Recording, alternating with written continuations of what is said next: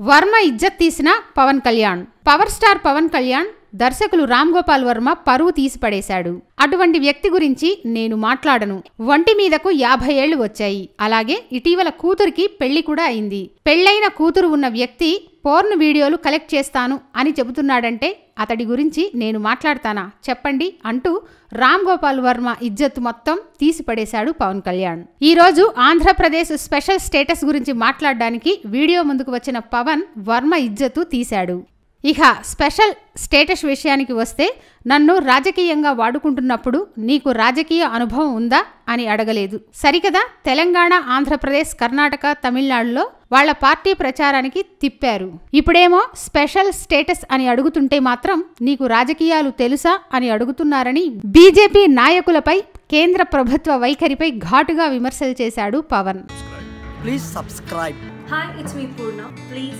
subscribe.